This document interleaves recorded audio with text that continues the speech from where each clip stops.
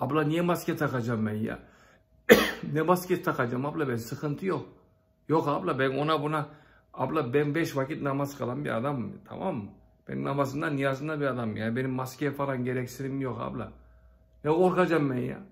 Ona buna maske diye yalvaracağım Allah'ıma yalvarırım. Bana bir nasıl abla? Abla niye takayım ya?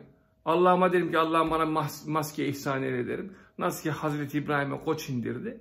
Tam oğlunu İsmail'i kesecekken koç zuhur etti birdenbire.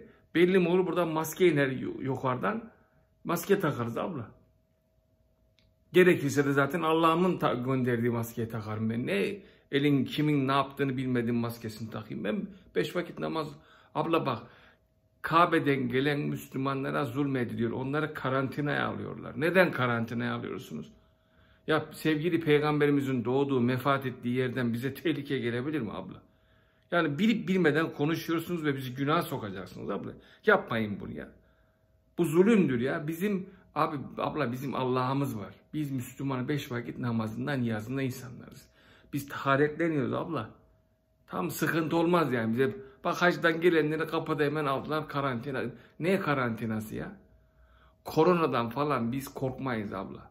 Bunu çok bak ben açık yürekli abla ben bak tamam okumadım çok şey bilmiyorum ama abla hani imanım var tamam? Biz imanı bütün insanlarız.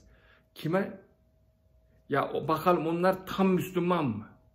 Yani gerçekten her an dört dörtlük Müslüman mı? Müslüman değilse dokunabilir ama Müslümana, gerçek Müslümana dokunmaz abla.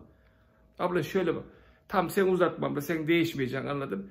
Senin yolun korona, benim yolum Kur'an'a. Ben böyle özetlerim abla. Senin yolun korona, benim yolum Kur'an'a. Al sana manşet, daya gitsin. Hey yavrum benim. Nasıl abi ama?